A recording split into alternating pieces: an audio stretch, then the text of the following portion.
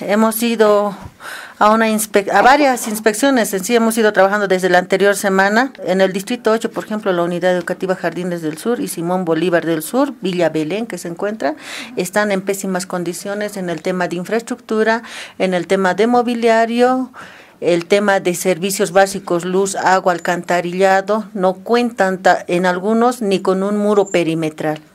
Según la concejal, varios de los proyectos para el mejoramiento de estas unidades educativas estaban inscritos en el POA reformulado 2. Sin embargo, estos fueron quitados en el reajustado 3, generando molestia en los padres de familia.